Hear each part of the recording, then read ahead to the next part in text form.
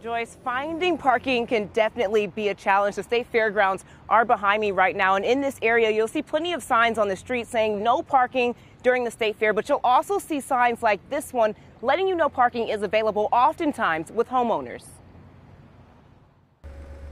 No parking on the streets during the Wisconsin State Fair, but yards in West Allis are fair game. How busy does it get? It get busy. Ellis Reeder and his family have it down to a science. They've been letting people park in their yard for about five years. The money adds up quickly. What's the most you've made over the years? What was it like? One year, probably like about eighteen hundred. It's a good gig. And they aren't the only ones. Joseph Ryan got together with his neighbors. Among the three of them, they have 26 spots. If you turn it over two times a year, I mean two times a day, then you wind up with about 10 grand. If you turn it over three times, then you get 15 grand. Proving it pays to listen to your wife. My wife pushed me into doing it.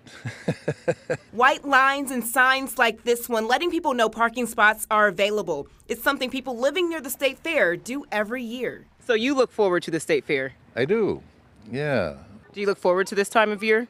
Oh yeah, this helps with a lot of bills right now. Yeah, this is gonna knock some things down, so we're gonna be all right. We're gonna we may be all right for Christmas right now.